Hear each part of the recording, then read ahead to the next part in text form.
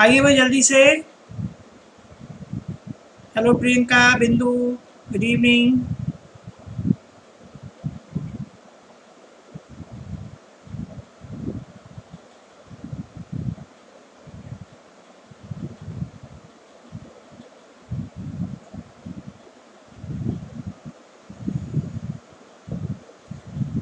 जल्दी जल्दी जुड़िए भाई। बिकॉज़ लास्ट का टाइम बिल्कुल क्रूशियल होता है बिल्कुल एग्जैक्ट टाइम पर हमें क्लास खत्म करनी होती है। पहले थोड़ा टाइम हो जाता था मैं कोशिश करता हूँ अपनी क्लास को दस पाँच मिनट या today we are going to start we are going to study uh, james joyce novels. And uh, you know just a hello ji, नमस्कार भाई साहब। भाई, मैं, उन्होंने एक्चुअली वो कभी कभी जा रहे हैं, बीच में दो से तीसरे दिन जा रहे हैं। तो वो कह रहे हो जाएगा परसेंटेज की वो भेज दो। क्या नाम है मुझे आपसे फ़ोन करना वो रह गया मतलब उसकी परसेंटेज और डिटेल भेज दो। अच्छा नहीं एडमिशन भी उनकी परसेंटेज के हिसाब से होगा? चलिए, मैं फ़ीस पूछ के फ़ीस पूछ के बता देता हूँ। फ़ीस मैं अभी शाम को ही कॉल कर दूँगा मैं शाम को शाम को कॉल करता हूँ। ठीक है ना जी जी जी।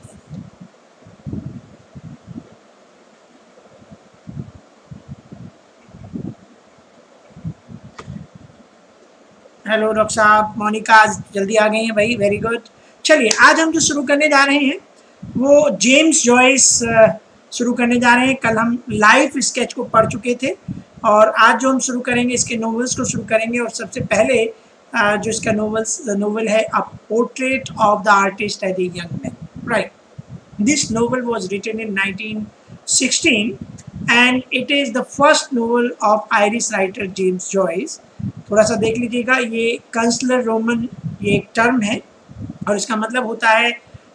जो सेंट्रल कैरेक्टर होता है नोवेल का वो एक आर्टिस्ट होता है and it follows the development of that you know character और एज एन आर्टिस्ट और uh, you know uh, work of art. It traces the religious and intellectual awakening of young Stephen Dedalus. एक character है Stephen Dedalus right जो पूरा novel है, उसकी जो intellectual awakening है मतलब it traces and fictional alter ego of Joyce जो ये डिडालस है, बिल्कुल ये जॉयस की तरह है and somehow you can see the footprints of autobiographical elements of James Joyce in this character and an allusion to Daedalus. Uh, the consummate craftsman of Greek mythology, right? Stephen questions and rebels against the Catholic and Irish conventions under which he has grown, culminating in its self-exile. Okay, ji, good evening, Sonal bhai. From Ireland to Europe, right? It means the person who rebel, the person who uh, just goes against the Catholic uh, Church and his religious faith and then even at last he just uh, give up Ireland and he just uh, goes on a trip to Europe to uh, find the intellectual awakening or his religious quest. The work uses techniques that Joyce developed more fully in Ulysses जो उसकी मैंने बताया था कि technique जो consciousness की technique है ये बहुत इंपॉर्टेंट है। जेम्स जॉयस वर्जीनिया वूल्फ ये मॉडर्न नॉवलिस्ट ने बहुत सारे मॉडर्न नॉवलिस्ट ने इसको यूज़ किया है। राइट right, यूलाइसिस में इसको और अच्छे ढंग से देखेंगे। एंड जो फिन गेंस वेक उसमें भी ये उसमें तो और भी अच्छे तरीके से इसका प्रयोग हुआ है। वंस अपॉन ए टाइम जो कहानी है once upon a time and a very good time it was there it was there was a moocow coming down along the road and his this muko that was coming down along the road met a nicens little boy name baby tuckoo, ये मतलब एक तरह से एक कहानी है कि मुको it was child और हम ये कह सकते हैं कि in the childhood it is just just symbol of that child childhoodness coming down along the road and this moocow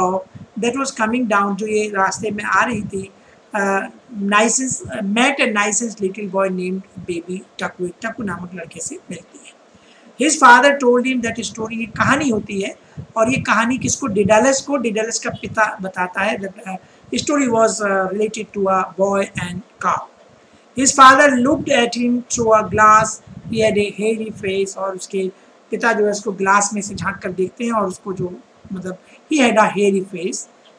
he was baby tuckoo the moocow came down the road where Betty Byrne live she sold lemon platt अब जो मुकाव है वो नीचे road पर आती है, जहाँ पर एक बैटी बायरन रहती थी और वो लेमन प्लेट बेचती थी। Childhood of Stephen Dedalus is recounted using vocabulary and changes as he grows in a voice not his own but sensitive to his feelings अब कॉन्सियसनेस का जो पार्ट है it is just being shown everywhere when we talk about the childhood of Stephen Dedalus it is recounted using vocabulary that changes as he grows मतलब जो उसमें बचपन में जो चीज़ें हम सीखते हैं, जब बड़े होते हैं तो वो बदलती चली जाती हैं। तो in the same way the vocab और the things that was in the life of Dedalus it changes as he grows in a voice not his own but sensitive to his feelings right मतलब he was very sensitive in nature and sensitive when the person when the character is sensitive in nature he has uh, he passes through various developments of his consciousness or of his you know life or you know things.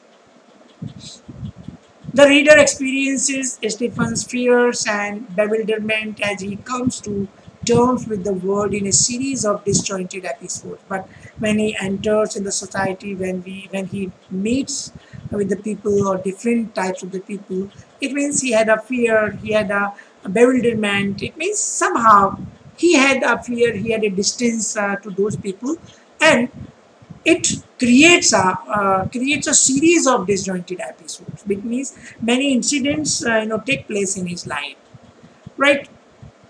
Stephen attends the Jesuit run uh, Clongowes Wood College where the apprehensive intellectually gifted boy suffers the ridicule of his classmates when like uh, James Joyce when Stephen goes or attends the Jesuit run Clongowes Wood College जो Jesuit जो समुदाय के लोग थे वो इस college को चलाते थे Clongowes Wood College and where he suffers he becomes the figure to be ridiculed by his classmates उसके जो क्लासमेट्स थे उस पर हँसते थे why he learn the school boy codes of behaviour जब वो स्कूल के कोड ऑफ़ कंडक्ट सीख रहा था it means when a person goes in different community like uh, a person comes uh, from the village and he enters the city or he goes to the college. It means he becomes he looks different and he becomes the part of you know uh, ridiculation or sometimes the classmates or sometimes his friends and that community you know make fun of him. So he suffers the same thing. While he cannot grasp their significance at a christmas dinner he is witness to the social political and religious tensions in ireland involving Charles Stewart Turner जहाँ Charles Stewart ये political leader था it means till Christmas he finds or he sees many tensions, religious tensions in Ireland that was social, political and religious. It means various types of the tensions जो हर देश में होती है कहीं ना कहीं कुछ ना कुछ अलग तरीके से which drive wages between members of his family. Leaving Stephen with doubts over which social institutions he can place his faith in अब उसके दिमाग में एक डाउट हो जाता है because mentally he was not stable he was not able to confirm he was not able to think which community he should join मतलब एक uh, एक क्योस होता है दिमाग में कि कौन सी कम्युनिटी को ज्वाइन करे because there was a tension and he could not find the ideology or ideologically any society any community fit for him. Right? Back at Clongowes uh, word spreads that a member of the older boys have been caught smuggling. Discipline is tightened and Jesuits increase use of you know corporal punishment. अब जब वो वापस college में जाता है क्लोम्बोज में जाता है तो वहाँ पर एक अफवाह फैली हुई थी कि कोई बड़ा ओल्डर बॉय है बीन कॉट स्मगलिंग उसको स्मगलिंग करते हुए पकड़ा गया है और उसके चलते क्या होता है कि जो वहाँ का माहौल था डिसिप्लिन था, और ज़्यादा टाइट कर दिया जाता है। And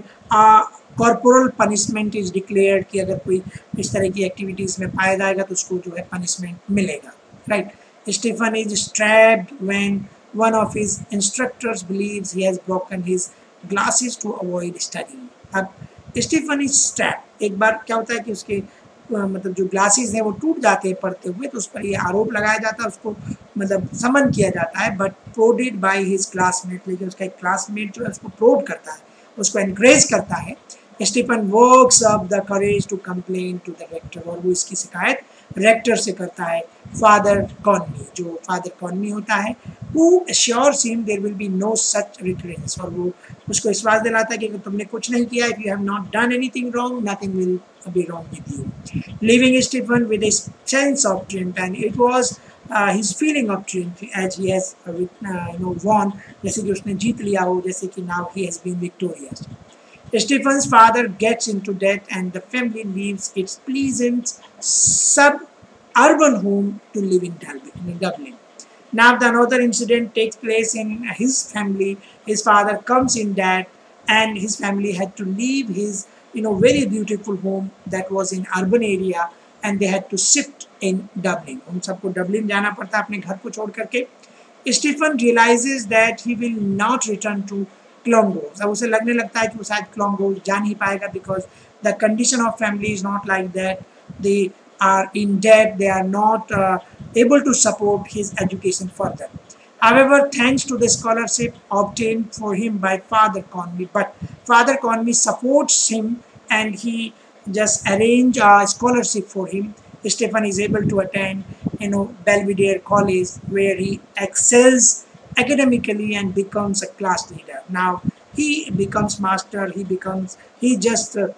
becomes excellent in academics and he becomes a class leader. Stephen squanders, a large cash prize from school और एक और गड़बड़ होती है कि वो बहुत सारा अपने जो कैश प्राइज वहाँ से जीतता है स्कूल से अपनी एकेडमी की वजह से, ना उसको स्पेंडर कर देता है, खर्च कर देता है, उड़ा देता है and begins to see prostitute ना उसका जो मेंटल लेवल है, देखिए, बहुत इंपॉर्टेंट बात है, क्योंकि जो आरंभ में इनिशियली हमने टर्म एक टर्म जो यूज़ की थी it means how he passes through various psychological and mentally changes हमारे दिमाग में बहुत सारी चीज़ें होती हैं and throughout his throughout our life we pass through such you know heroine passage और path so he begins to see prostitutes as distance grows between him and his drunken और इसी बीच में क्योंकि इसके पिता जो है, जब कर्जे में थे then he start to drink पीने लग गए थे एंड डिस्टेंस इंक्रीजेस दूरी बढ़ जाती है बाप बेटों के बीच में and he start to see prostitute as Stephen abandons himself to sensual pleasure his class is taken on a religious retreat और एज स्टीफन एबंडेंस हिमसेल्फ और जब वो सेंसुअल प्लेजर्स में अपने आप को छोड़ देता है, ठीक है, अपने आप ही छोड़ देता है his class is taken on a religious retreat now there was a turn in his life and he start to incline to religious thought where the boys fit through sermons where, where the boys sit through sermons और जहाँ पर लोग sermons यानी उपदेश सुनने के लिए बैठते थे Stephen pays special attention to those on pride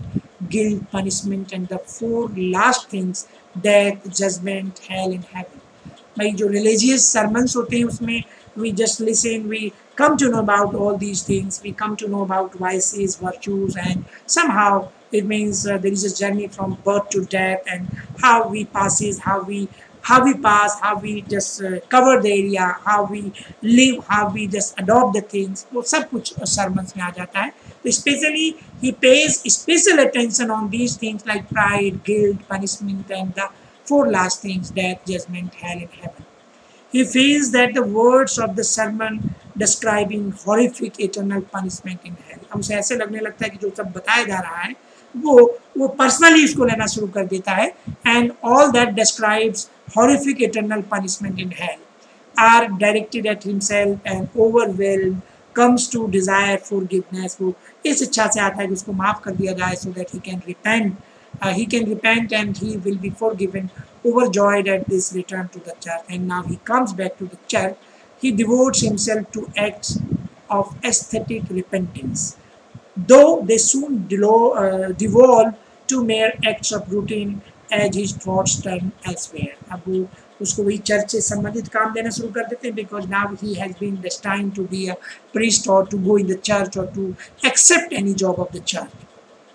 His devotion comes to the attention of the Jesuits and they encourage him to consider entering the parish too. his devotion comes to attention of the Jesuit क्योंकि वो Jesuit run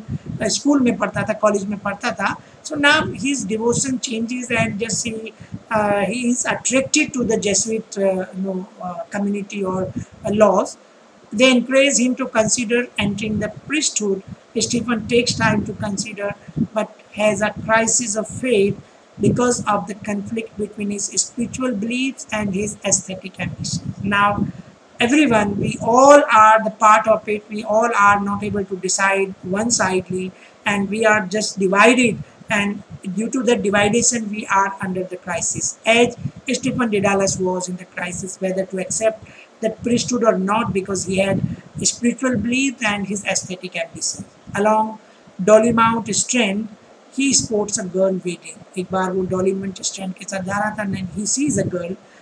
wading wading means पानी पर चलना होता है and has an epiphany in which he is overcome with the desire to find a way to express her beauty in his writing. And now he wanted to praise, he wanted to, uh, he had a desire to express her beauty. So because portrait of the artist as a young man, remember this thing, the title of this novel, portrait of the artist as a young man. It means when you are young, you have a different perspective to live the society, to see the society or to feel the people. When as you grow, जैसे जैसे आपकी उम्र बढ़ती चली जाती है your perspective begin to change आप बदलने लग जाते हैं. एंड एट लास्ट जब अगर कहीं कोई डायरी लिखने का किसी को शौक हो, कोई डायरी लिखता हो तो आप 10 साल पहले जो थॉट्स आपके हुआ करते थे किसी भी सब्जेक्ट के ऊपर और अब यानी 10 साल के बाद जब उनको देखेंगे तो you will find a great difference इसलिए मैं कहता हूँ the all the literary people they should write something they should write diary they should mention the incidents events so that they can find difference they can find the development of their spirit of their their mind and of their themselves. अपना सबका development देख पाए right so as a student at University College Dublin Stephen grows increasingly wary of the institutions around him बहुत important बात है because when your mind is not ready to accept all these things at the time it takes time to you know understand or it takes time it uh, makes you very you very you it makes you tired about all these things which you are not very much interested like church school politics and family ये सब क्या है ये संस्थाएं हैं we are just the part and we are just uh, in the schools of these institutions and we learn every day the new things we uh, feel or we ex get experience new experiences of uh, in these things in these institutions in the midst of the disintegration of his family's fortunes, his father berates him. But in the midst of the disintegration of his family's fortunes, because now, when he was disturbed, when he was divided uh, in the thoughts, so his father berates him. उसको गालियाँ बकता है डांट फटकार लगाता है and his mother urges him to return to church. उसकी माँ उससे कहती है वापस चर्च में चला जाए so that he can support his family and he can get a good career. and increasingly dry, humorless, Stephen explains his alienation from the church. लेकिन उसके मन में चर्च के प्रति अलगाव पैदा हो चुका था that was the important part और वो जो अलगाव था उस अलगाव की वजह से ही was not able to decide anything right and you know, as uh, Stephen explains his alienation from the church and the aesthetic theory he has developed to his friends, who find that they cannot accept either of them right so लगा कि जो theory जो उसके मन में चल रहा था if it is not useful for the society it it cannot uh, benefit the society it cannot benefit the people so there was no use of it and he should leave that particular part right uh, who find that they cannot accept either of them, Stephen concludes that Ireland is too restricted to allow him to express himself fully as an artist. Now, he thinks that this is not the place where he can fully, you know, explain or express himself or his talent or as an artist. So he decides that he will have to leave. He sets his mind on self impose exile अपने आप को खुद बनवास देता है, खुद अपने आप को सेल्फ इम्पोज एक्साइल में ले जाता है बट नॉट विदाउट डिक्लेयरिंग लेकिन he does not declare this thing in his diary his ties to his homeland उसकी, जिसमें उसकी होमलैंड से जुड़ी कुछ उससे संबंधित लिखा था he has not declared it but he goes on a spiritual exilment so that he can get the development of all that thing so ये था portrait of the artist young man अब महसूस कीजिएगा because these are the you know not only symbols these are the things that you know that come or that we come across जिससे हम हमेशा मिलते हैं we find we are always in dilemma, we are always in conflict, and we are not able sometimes to decide. Sometimes we live under compulsion, sometimes we uh, just we are forced to do the things. कभी कभी बाध्य होते हैं करने के लिए कुछ भी. So uh, at the time, I think it is the you know uh, real development of the mind because at last we had to conclude anything. अंत में हमें कोई ना कोई conclusion पर पहुंचना होता है, either wrong or right, and this is the journey of life and we pass at, la at last what we get it doesn't matter but how we live the life it matters much the next the most important novel of james joyce was ulysses right he's known for this thing and yesterday we discussed that it was written by tennyson also uh, it was uh, an epic but now it is uh, you know a novel that was written by james joyce it is a modernist novel by Irish writer uh, James Joyce. मैंने बताया था he used uh, that technique or uh, that is uh, you know technique of consciousness completely in this novel. It was the first. It was first serialized in parts in the American journal The Little Review from March 1918 to December 1920. For two years, it was serialized in a journal, American journal, and then published in its entirety in Paris by Sylvia Beach on 2 Feb 1922 जो publish हुआ था ये 1922 में publish हुआ था लिखा था इसने 1916 में राइट 1922 कीजिए इसको चेंज कर दीजिए 16 पब्लिश की डेट लिखिएगा इस बार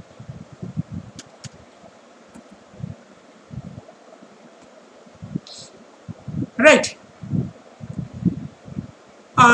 nineteen twenty two Joyce forty birthday इसका चालीसवा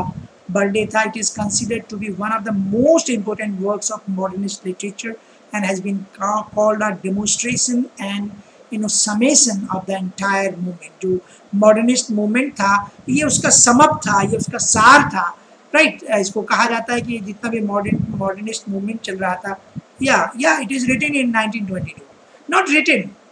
it was published in 1922 uh, before that it was published uh, from 1918 to 1920 right इससे पहले ये सीरियलाइज्ड और सीरियल फॉर्म्स में सीरियलाइज्ड फॉर्म में अमेरिकन जर्नल में पब्लिश हो चुका था but finally it was published in 1922 okay right according to you know Declan uh, Kibbard, before Joyce, no writer of fiction had so foregrounded the process of thinking. बहुत बढ़िया बात है जो Declan टिब्बर्ट ने कही है कि इसे जो इससे पहले कोई ऐसा राइटर नहीं था जिसने जिसका जिसके पास जो है जिसने ऐसा फोर ग्राउंडेड फिक्सन लिखा हो राइट या जिसके पास ऐसा foregrounded the process of thinking ऐसा प्रोसेस हो समरी देख लेते हैं स्टीफन डिडालस स्पेन इसमें भी कैरेक्टर वही है स्टीफन डिडालस जो पीछे आपने पढ़ा था portrait of a young man पढ़ा था आपने uh, Stephen Dedalus spent the early morning hours of June 16, 1904, remaining aloof from his mocking friend Buck Mulligan and Buck's English acquaintances. Stephen Dedalus जो है अपना जो सुबह का वक्त है 16 जून 1904 में उसको अकेला अलग होकर के गुजारता है because he wanted to be aloof from his mocking friend जो उसके, उनके मॉकिंग फ्रेंड थे जिनमें स्टीफन सॉरी बक मोलिगन और उसके इंग्लिश दोस्त थे Haines Stephen leaves for work Buck orders him to leave the house key and meet him at pub at twelve thirty जैसे वो जाने के लिए होता है तो जो उसका मित्र होता है बक वो कहता है कि चाबियाँ छोड़ जाओ and meet me at pub at twelve thirty Stephen resents Buck उसे मना कर देता है। Around 10 a.m., Stephen teaches a history lesson to his class at Garrett Disease Boys School. He is a professor, and uh, at 10 o'clock, he teaches, he gives history lecture at the college, Garrett Disease Boys School, and after class, Stephen meets with Dizzy to receive his ways. और वो जो है Deasy जो college the honour of the college And he goes to him to get his wage जो उसका पैसा था उसको लेने के लिए जाता है। Narrow minded and prejudice Deasy lecture Stephen life अब वो थोड़ा नैरो माइंडेड होता है and he he just uh, gives the lecture to Stephen on the life. Stephen agrees to take disease editorial letter from cattle disease to acquaintances at the newspaper अब वो उसके editorial letter को newspaper में देने के लिए तैयार हो जाता है कि ठीक है जो उनका डिस्कशन होता है। Stephen spends the remainder of his morning walking along on Sandy Mount Strand, thinking critically about his younger self and about perception. And now when, because he is a philosopher kind of the character, so he wanted to live alone and he passes his remainder time, remainder of his morning walking along the sandy mount stream and he thinks about his younger self and about perception क्या उसकी अवधारणा उनके बारे में सोचता है। Specially in all the novels of James Joyce you can find the character development moral development mentally development psychological development you will find because एक आदमी अपने आप में पूरी दुनिया होता है। आपको अगर अपने जीवन में आपको विलेन्स की आवश्यकता नहीं है you are sometimes you are the villain of your life sometimes आप अपने आप को महसूस करते हैं as you are villain yourself क्योंकि कभी कभी आपको बाह्य दुख की आवश्यकता नहीं होती है।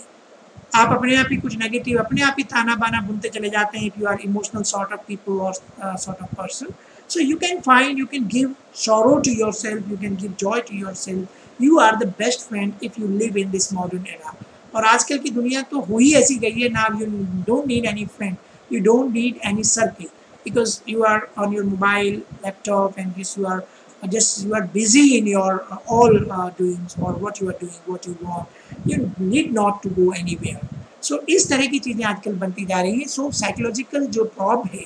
साइकोलॉजिकल जो प्रेशर है वो अब बढ़ रहा है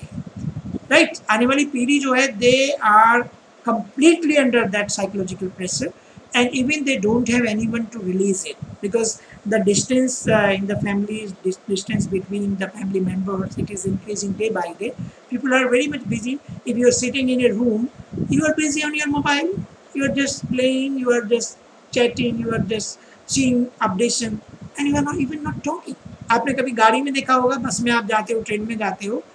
90% people they are busy in there either they use headphone मतलब उन्हें दुनियादारी से कोई मतलब नहीं है even they are not happy to see the people who are around them they are not they do not even smile to see their uh, you know the people whom do they meet daily so इस तरह की चीज़ें बनती जा रही हैं now such atmosphere such environment will give a different world different characters right ये problems जो हैं ये definitely it will be uh, seen uh, very soon in our own society also so right so he composes a poem in his head दिमाग में उसकी कविता चलती है and writes it down on a scrap torn from Deasy's letter और जो उसका फटा हुआ डीजी का लेटर था, उस फटे हुए, उसी पर कुछ लाइन कुछ पंक्तियाँ वो लिख देता है। Eight eight eight A M अगले दिन की बात है eight eight A M the same morning अभी उस दिन की बात है Leopold Bloom fix his breakfast and brings his wife her mail and breakfast in bed यहाँ पर the new character Leopold Bloom fixes breakfast वो नाश्ता वास्ता लगाता है and brings his wife her mail and breakfast in bed मतलब अपनी पत्नी के लिए नाश्ता और उसका जो मेल उसकी जो पत्र है, उसको बेड पर ही दे देता है। One of her letters is from Molly's concert tour manager जिसका नाम है Blazes Boylan Bloom suspect he is also Molly's lover उसको, उसका जो एक पत्र होता है, वो एक कंसर्न मैनेजर होता है, मौलिका ब्लेज बायलन उसका होता है और ब्लूम को संदेह होता है कि उसका लवर है पक्का। Boylan will visit at four this afternoon. उस पत्र में उसको सूचना दी गई थी कि बॉयलन चार बजे उससे मिलेगा। ब्लूम रिटर्न डाउन स्टेयर वो नीचे आ जाता है reads letter from their daughter उसको उसकी बेटी का एक लेटर मिलता है, Milly then goes to the outhouse और घर से बाहर चला जाता है। At ten A M Bloom picks up the amorous letter from the post office. He is corresponding with a woman named Martha. अब 10 बजे क्या होता है कि Bloom picks up an amorous letter Bloom को एक और दूसरा पत्र मिलता है from the post office is corresponding with a woman named Martha जिसमें वो एक मार्था नामक महिला से पत्र व्यवहार कर रहा था. Clifford under the pseudonym Henry Flower Martha Clifford जो जिसका जो दूसरा नाम था सुडोनिम तो था हेनरी फ्लार था. He reads the tepid letter, ducks briefly into a church, then orders Molly's lotion from the pharmacist. अब वो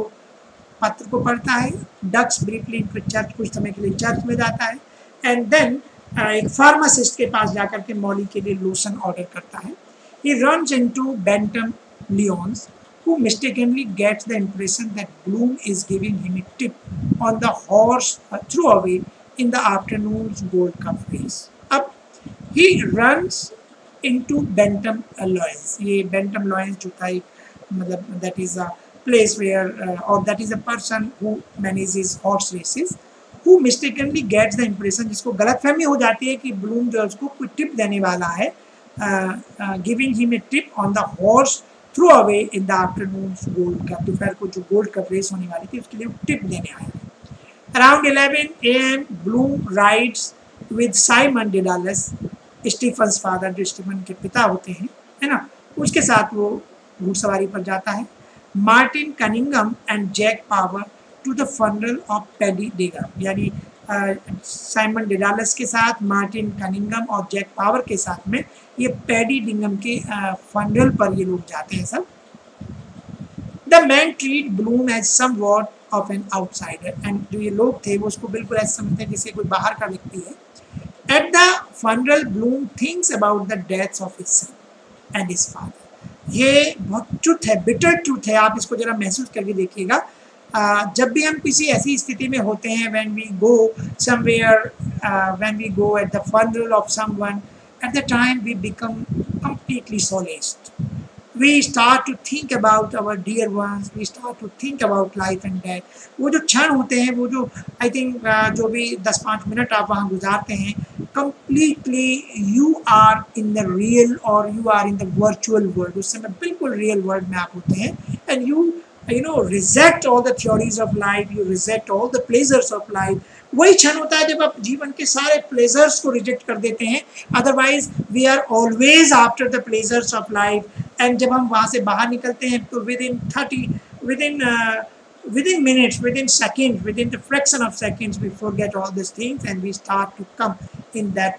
fake world फिर हम उस दुनिया, उस फेक वर्ल्ड में घुस जाते हैं। And again we start to dream again we start to accept the life as it is given to us we start to worry about something, again we start to care uh, someone. ये सारी चीज़ें हमारे साथ फिर शुरू हो जाती हैं लेकिन वो टाइम एग्जैक्टली अगर if you have gone somewhere if you have seen the things if you have just that uh, you know very moment अगर आप जाते हैं तो उस समय के लिए जो क्षण होते हैं वो रुक जाते हैं and just you are the you know truest friend of you at that time उस समय अपने सबसे अच्छे मित्र होते हैं आप because you start to think about your that journey you start to think your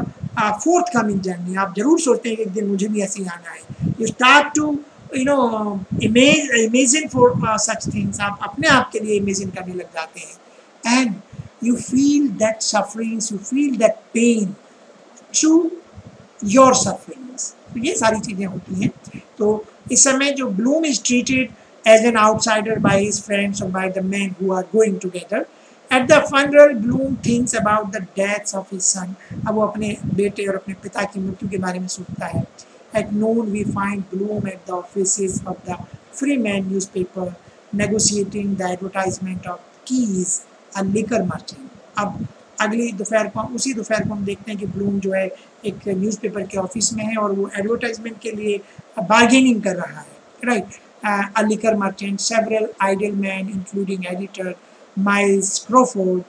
are hanging around in the office कुछ ऐसे ठाली लोग जिनको काम नहीं था, केवल देखते घूमते हैं, वो वहाँ इधर उधर भटक रहे थे। Discussing political speeches Bloom leaves to secure that अब वो उस एड को सिक्योर करने के लिए चला जाता है। Stephen arrive at the newspaper अब स्टीफन भी वहीं पहुँचता है कि वो डीजी के लेटर को डेजी के लेटर को लेकर गया था। Stephen and other man leave for the pub just as Bloom is returning और जैसे ब्लूम वापस लौट रहा था। स्टीफन और दूसरे लोग वो पब के लिए चले जाते हैं। Bloom's ad negotiation is rejected by Crawford on his way out. और जैसे वो बाहर चला जाता है तो उसका जो नेगोशिएशन करके जाता है एड के लिए, उसको वो रिजेक्ट कर देता है Bloom. At one P M Bloom ran into Josie Green ये जॉयजी ग्रीन के घर जाता है and old flame and they discuss Mina Purefoy who is in labour at the maternity hospital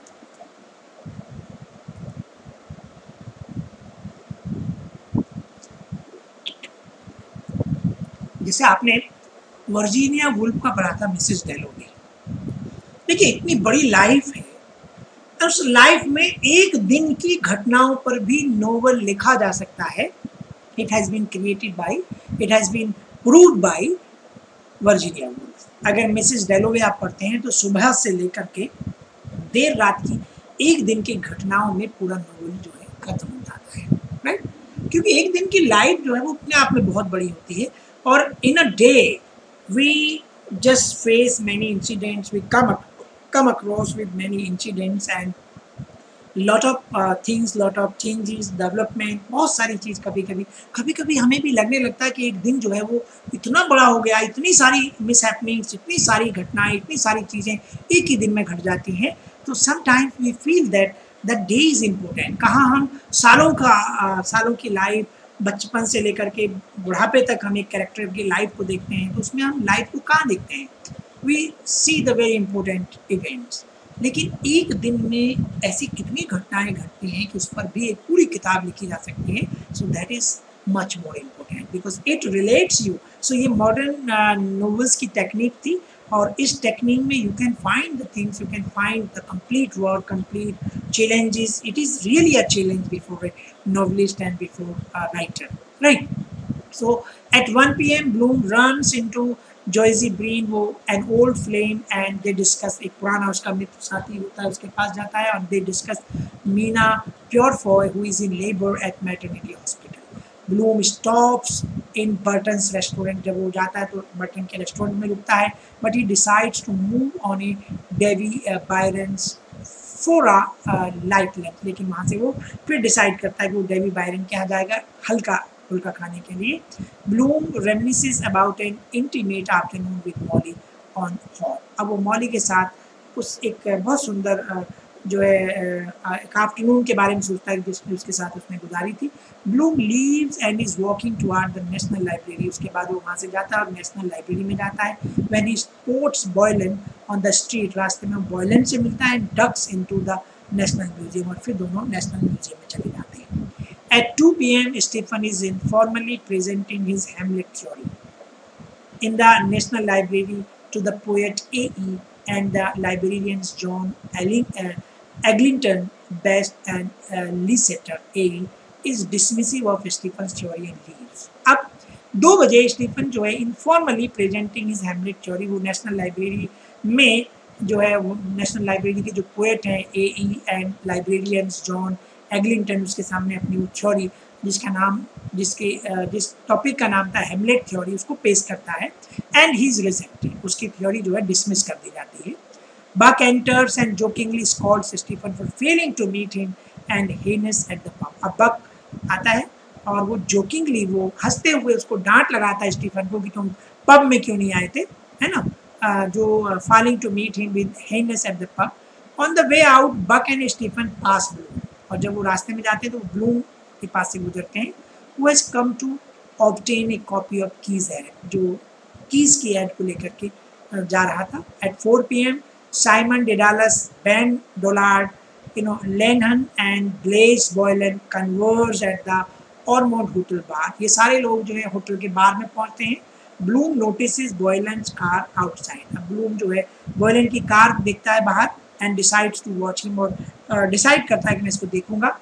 Boylan soon leave for the appointment with Molly and Bloom sits morosely in on in the Ormond restaurant अब Boylan जो है जल्दी से वो Molly के साथ appointment के लिए मॉली के साथ उसकी अपॉइंटमेंट थी तो उससे मिलने चला जाता है और ब्लूम जो है वो अकेला ऑर्मन रेस्टोरेंट में बैठा रहता है। Is briefly mollified by Dedalus and Dollard singing और थोड़ा सा वो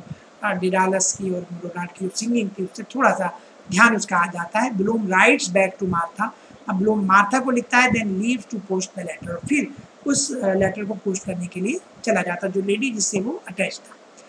5 p.m., Bloom arrives at Burney uh, Kernan's pub to meet uh, Martin Cunningham. पाँच बजे ब्लूम जो है वो बर्ने कनिंगम के पब में जाता है मार्टिन uh, कनिंगम से मिलने के लिए about the Dignam family finances but Cunningham has not yet arrive वो पहुँच जाता है कनिंगम वहाँ नहीं पहुँचता है। The citizen belligerent Irish nationalist becomes increasingly drunk and begins attacking Bloom's Jewishness लेकिन वहाँ पर एक नागरिक होता है आयरिश नेशनलिस्ट होता है बिकम्स इंक्रीजिंगली ड्रंक जो बहुत ज़्यादा जिसने पी हुई थी और वो ब्लूम क्योंकि वो जुइस लगता था तो उस पर वो अटैक करने लगता है। मतलब अटैक का मतलब उसको, उससे झगड़ा करने लग जाता है। Bloom stands up to the citizen speaking in favour of peace and love over you know xenophobic violence वो कहता है कि जातिगत जो तुम वायलेंस करते हुए ठीक नहीं है, वो लोगों की तरफ़ से बोलना शुरू कर देता है। Bloom and the citizen have an you know altercation on the street before Cunningham carries carries अब जैसे कि कनिंगम की जब तक कैरीज नहीं आती है ब्लूम और जो सिटीजन होते हैं, वो कहीं ना कहीं आपस में बात करते हैं on the street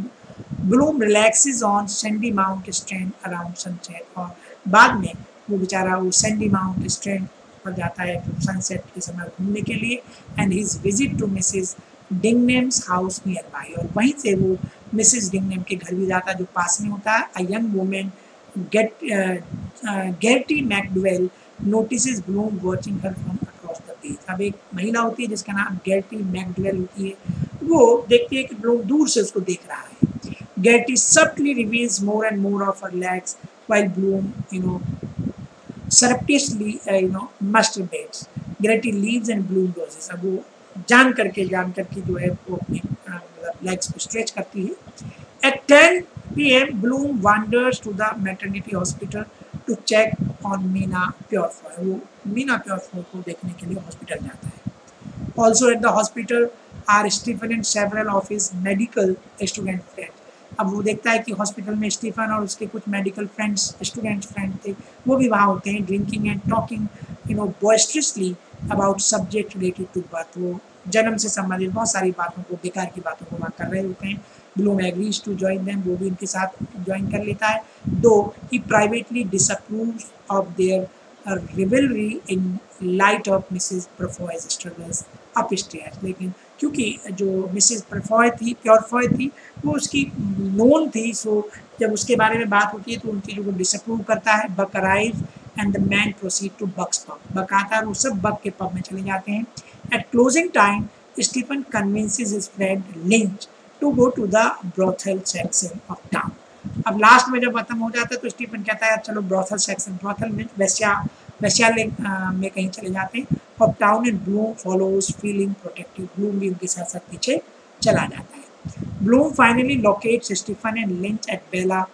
Cohen's brothel अब वो उसके बेला कोहंस के कोठे पर इनको देखता है Stephen is drunk and imagines that he sees the ghost of his mother. Full of rage, he shatters a lamp with the walking stick. अब स्टीफन जो है बहुत ज़्यादा पी लेता है तो उसको कल्पना करने लगता है कि उसकी माँ का जो भूत है, उसको दिखाई दे रहा है, जो बहुत नाराज़ है उससे and he shatters lamp with एक वॉकिंग स्टिक से वो एक लैम्प को गिरा देता है। Bloom runs after Stephen and finds him in in an argument with a British soldier who knocks him out अब ब्लूम जो है, वो स्टीफन के पीछे पीछे जाता है और देखता है कि स्टीफन जो है, एक ब्रिटिश सोल्जर से झगड़ा कर रहा है, वो उसको मार कर गिरा देता है। Bloom revives Stephen and takes him for coffee at the cab man centre to sober अब ब्लूम जो उसको स्टीफन को ले जाकर के कॉफ़ी हाउस में ले जाता है उसको कॉफ़ी पिलाता है Bloom invites Stephen back to his house और उसको अपने घर वापस ले जाता है well after midnight Stephen and Bloom arrive back at Bloom's house और आधी रात के बाद वो दोनों ब्लूम्स के घर पहुँच जाते हैं they drink uh, cocoa and talk about their respective backgrounds. Bloom asks Stephen to stay the night. Stay the night. वो कहता है कि तुम रात को यहीं पर रुक जाओ. Now you are you are able to see that in such novels you are not getting any novel. You know any uh, villain or any you know antagonist कहीं आपको नहीं नज़र आ रहा है and you are not able to judge the characters which character is good. You are not able to judge the moralities or morality of characters. आप characters की morality का पता नहीं कर पाते हो the characters are living without any hindrance उन्हें अपने जीवन को जीना है उन्हें मतलब नहीं कि क्या सही होता है, क्या गलत होता है तो इस तरह के कैरेक्टर जो है, आज हम जब अपने आसपास देखते हैं we don't find any you know you क्या कह सकते हैं उसको strict character in around us अगर कोई बुज़ुर्ग व्यक्ति, कोई पुराना व्यक्ति मिल गया जो किसी पर्टिकुलर बिलीफ से बंधा हुआ है तो हम कह सकते हैं otherwise we don't find such strict characters around us. We find the characters who are just living in the same way. Okay. आप ये हो गया आपका स्टीफन पोलाइटली रिफ्यूजेज वो मना कर देता है कि मैं रात को नहीं रुक सकता हूँ Bloom sees him out and comes back in to find evidence of Boylan's visit और वो आकर देखता है कि बॉयलन यहाँ है तो उसके एविडेंस देखता है। Still Bloom is at peace with the world and he climbs into bed Bloom जो है वो ऐसा कैरेक्टर है जो बिल्कुल शांत है। उसको पता है उसको शक है कि उसकी जो वाइफ है उसका कहीं मतलब किसी के साथ लव अफेयर चल रहा है, लेकिन ही इज़ वाइट वो शांत है he is not able to make any rebel many any revolt against only anything against her Bloom is at peace बिल्कुल पीस में है into bed tells Molly of his day and request breakfast in bed और वो कहता है मौली को बताता है कि उस दिन में क्या घटित हुआ, और कहता है कि सुबह मुझे नाश्ता दे देना बिस्तर पर। He after Bloom falls sleep जैसे ही ब्लूम सो जाता है Molly remains away surprised by Bloom's request for breakfast in bed आश्चर्यचकित होती है कि ब्लूम ने मुझे मतलब ब्रेकफास्ट के लिए रिक्वेस्ट किया है। Her mind wanders to her childhood in you know Gibraltar अब उसका दिमाग जो है, जो उसकी वाइफ है मॉली वो अपने जिब्राल्टर में अपने बचपन के बारे में सोचती है। Afternoon of sex with Boylan और बॉयलन के साथ उसने जो है, कैसे अपने आफ्टरनून गुजारती थी। Her singing career Stephen Dedalus Stephen Dedalus भी उससे रिलेटेड था। Her thoughts of Bloom vary widely over the course of the monologue और जब मोनोलॉग अकेले में बात करती है तो जो ब्लूम के बारे में उसके थॉट्स थे, वो बहुत वाइडली हो जाते हैं but it ends with a reminiscences of their intimate moment at hope and a positive after afterness मतलब बाद में वो सब कुछ ठीक होता है, वो इंटीमेट मोमेंट के बारे में सोचती है तो फिर वो सब कुछ ठीक हो जाता है। ये समझ में आपको? कैरेक्टर्स में नथिंग अब आपको लग रहा होगा कि what was the story The story was related in the mind. It means development of the mind and everything, every pressure uh, that we feel every day, it is shown. Is इसलिए technique of consciousness कहा गया है. And because it directly involves to the development of our mind, to the you know hilarious uh, ways hilarious ups and downs of the mind हमारे दिमाग में जो ups and downs दिन भर चलते हैं और जिन ups and downs से होकर के हम गुजरते हैं all are you know narrated in this technique in this style इस स्टाइल में सारी चीज़ें जो है नरेट की जाती है। तो मेन कैरेक्टर ब्लूम है स्टीफन डिडालस है है ना? उसकी वाइफ ब्लूम की वाइफ मॉली है है ना? बॉयलन है। तो इन कैरेक्टर्स को आप देखिएगा होल स्टोरी अब कुछ नहीं है। एक दिन की घटना में पूरी कहानी खत्म हो गई। ओके बिल्कुल वर्जीनिया वुल्फ का जैसे मिसेज डेलोवे है यूलाइसिस भी उसी तरह की कहानी है। ये फिन गैंस वेक थोड़ा टिपिकल नॉवल है लेंदी नॉवल भी है।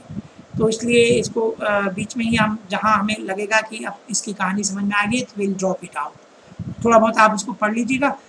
तो जो भी प्रॉब्लम होगी, फिर अगली क्लास में हम डिस्कस कर लेंगे। तो I am going to start this thing it is a work of event great comic fiction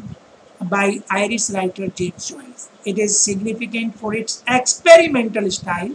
and reputation as one of the most difficult work of fiction ये फिक्सन का सबसे डिफ़िकल्ट वर्क माना जाता है in English language It was written in Paris over a period of 17 years. और ये Paris में 17 साल के पीरियड में लिखा गया था and publish in 1939 two years before author death author की डेथ के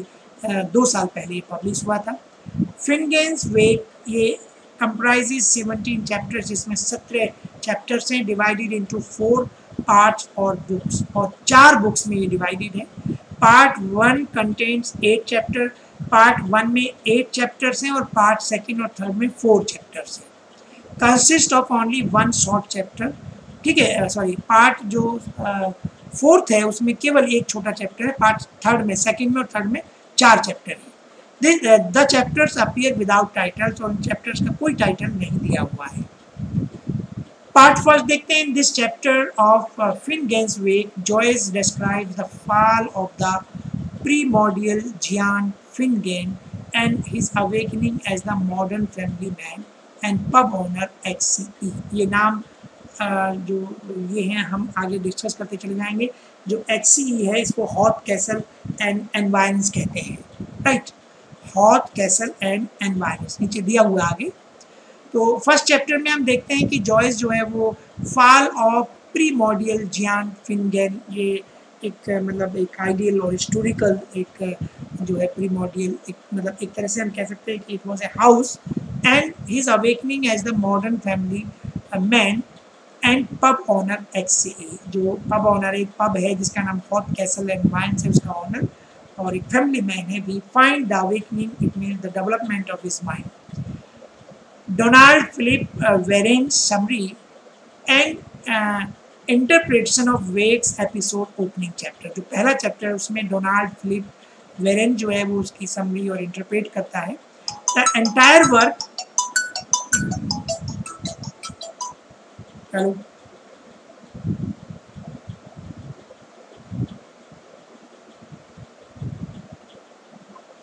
ji भैया। The entire work forms a cycle the last sentence a fragment recirculate to the beginning sentence जो पहला लास्ट सेंटेंस है, वो पहले सेंटेंस से कहीं ना कहीं रिसर्कुलेट करता है। Away alone a last a love a long ये सब वो सेंटेंसेस हैं जो कहीं ना कहीं रिलेट करते हैं।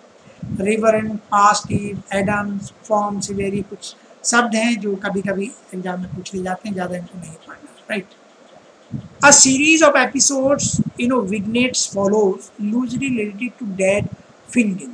most commonly referred to the uh, क्या वेलिंगटन यू नो म्यूज़ियम जिसका नाम है मशरूम वेलिंगटन ये फिनगेन का नाम है और फिनगेन का जो मतलब मालिक था या जिसको हम कह सकते हैं जिसके बारे में हम बात कर रहे हैं the character that was that was the owner of that house Mutt and Jute you know prank queen. At the chapter's close, a fight breaks out. Whiskey splashes on Finnegan's corpse and the dead Finnegan rises from his coffin. मतलब उसकी मृत्यु पर क्या होता है कि बहुत सारे लोग जो है एंजॉय करते हैं विस्की खुलती हैं, है ना, उसके कॉर्स पर और अंत में पता चलता है कि वो अपनी कॉफिन से खड़ा हो गया है bobbling for whiskey and his mourners put him back to rest और उसके जो मॉर्नर्स हैं, वो उसको फिर से सुला देते हैं persuading him that he is better off where he is कि जहाँ वो है, वहीं पर ठीक है ends with the image of the H C character sailing into Dublin bay to take a central role in the story बस इसको सिर्फ़ इतना देखिएगा। इसमें आपको याद ये रखना है कि इसमें चार भाग हैं इसके और सेवनटीन चैप्टर्स हैं। ठीक है? बाकी कहानी थोड़ी क्योंकि जो कहानी है ये आ, मतलब टिपिकल मोस्ट टिपिकल नोवेल माना जाता है इसको इंग्लिश लैंग्वेज में। Reason because the story the characters and the places are involve with each other and the story does not go in the right direction. It is just a narrating story with the characters development, characters mental or psychological pressure. कुछ नहीं है, केवल आपको इतना याद रखना है कि लॉन्गेस्ट वर्क है और इसमें चार भाग हैं और सत्रह पार्ट्स हैं और ज़्यादा इसमें हम नहीं पढ़ेंगे। ओके तो ये हमारा जेम्स जॉइस कंप्लीट हुआ है। जेम्स जॉइस का अगर कोई सवाल आता है तो स्पेशली या तो यूलाइसिस से आता है और अगर कोई दूसरा सवाल बनता है तो वो portrait of a young artist मतलब आर्टिस्ट ए यंग मैन उससे आता है। ठीक है, ये केवल याद रखिएगा इतना कि जो फिनगैस वेक है, ये पेरिस में लिखा गया था, सत्रह साल के पीरियड में लिखा गया था, सत्रह चैप्टर्स हैं, चार भाग हैं राइट बस, और कुछ नहीं। ठीक है साहब तो कल हम नेक्स्ट चैप्टर पढ़ेंगे नेक्स्ट पार्ट पढ़ेंगे तो एक दिन में एक जो मेन नोबलिस्ट हैं, उनको एक दिन में एक नोबलिस्ट हम कंप्लीट कर जाते हैं, और जो छोटे नॉवलिस्ट हैं, वो दो दो तीन दिन खत्म हो जाएँगे। तो ये आई होप कि इस वीक या नेक्स्ट मंडे ट्यूसडे तक ये हमारा एंड हो जाना चाहिए राइट अच्छा इसमें अमेरिकन और जो अफ्रीकन है, ये एक सवाल आता है जिसको हम कंटेम्प्रेरी कहते हैं तो कंटेम्प्रेरी वाला चैप्टर हम सबसे बाद में पढ़ेंगे, क्योंकि इसमें जितने भी मॉडर्न आज तक के जो इम्पोर्टेंट राइटर्स हैं, उनको उनको पढ़ेंगे। तो इसके तुरंत बाद हम ऐसे वाला पोर्शन प्रोज वाला सेक्शन शुरू कर देंगे, क्योंकि प्रोज सेक्शन को भी हमें लगभग एक सप्ताह, दस दिन में ही खत्म हो जाएगा हमारा। उसमें ज़्यादा नहीं है, एक एज में एक दो राइटर्स ऐसे मिलेंगे जो आपको या दो तीन ऐसे वर्क हैं जो लॉन्ग प्रोज वर्क हैं, चाहे मार्टिड ऑथर है या प्लीग्रिम्स प्रोग्रेस है या फिर एसेज हैं उनके राइट तो उनमें पूरी समरी हमें नहीं पढ़नी होती, केवल कब लिखा गया, बहुत शॉर्ट में उनको हम लोग पढ़ते चले जाएँगे। केवल कुछ लॉन्ग प्रोज वर्क को हम लॉन्ग में पढ़ेंगे, जैसे मार्टिन ऑथर को पूरा टाइम लगेगा दो तीन दिन लगेंगे एक ही को पढ़ने में, और प्लीग्रिम्स प्रोग्रेस में, क्योंकि अंदर से सवाल इनमें आते हैं हमारे। ओके सर चलिए भाई थैंक यू वेरी मच कल सेम टाइम हम लोग मिलेंगे, कोई प्रॉब्लम हो तो you can ask you can text a novel text a message